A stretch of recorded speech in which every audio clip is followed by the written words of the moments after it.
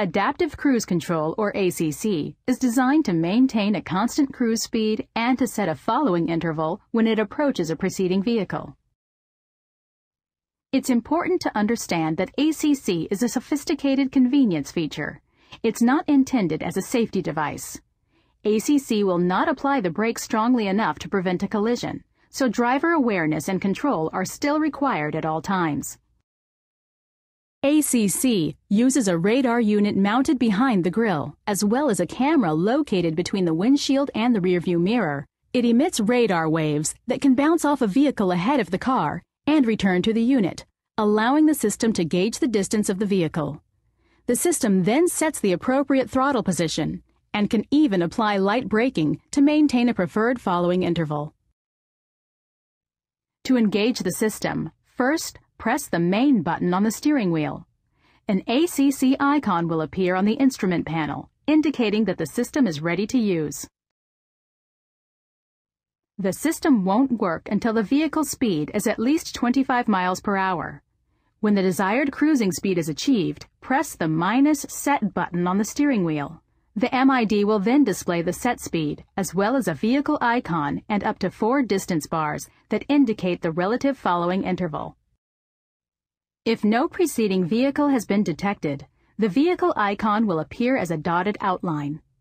When a vehicle is detected ahead, such as when you come upon a slower moving car or one that moves into your lane, the vehicle icon will fill in and you'll hear a beep. Four different following intervals can be set, short, middle, long, and very long. Use the distance button on the steering wheel to adjust the following interval and the distance bars will change accordingly. Note that the following distance for each setting will increase with vehicle speed. For instance, the distance for the long setting will be about 155 feet when the set speed is 50 miles per hour, increasing to about 202 feet when the speed is raised to 65 miles per hour. To increase the set speed in 1 mile per hour intervals, press the RES plus button. To decrease speed by the same amount, press the minus set button.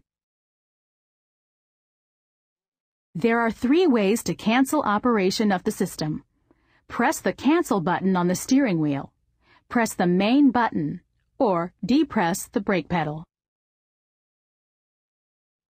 The system can be switched to operate as conventional cruise control.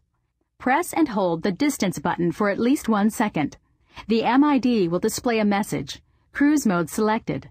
Likewise, pressing the distance button again for one second will re-engage ACC, and ACC Mode Selected will appear in the MID.